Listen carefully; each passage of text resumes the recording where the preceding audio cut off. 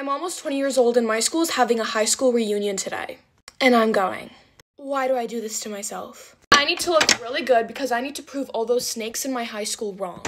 I hated my high school years so much. I definitely got bullied in my middle school years. I get it that I looked like this.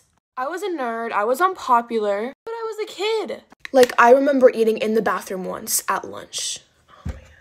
I hated lunch so much because I didn't have anyone. I also had like very bad anxiety, so making friends was just not easy. And that's why I'm 20 years old now and I have no friends.